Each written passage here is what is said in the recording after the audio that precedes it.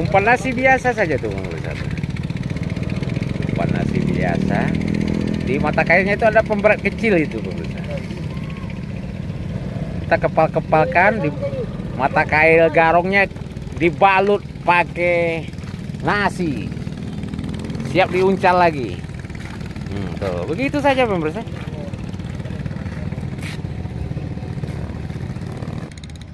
Jadi di tikungan ini sangat istimewa sekali.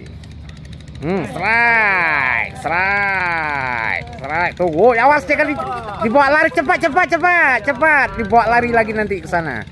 Wow, besarnya pemirsa tuh. Wow, mantap jiwa. Hmm. Tarik cepat.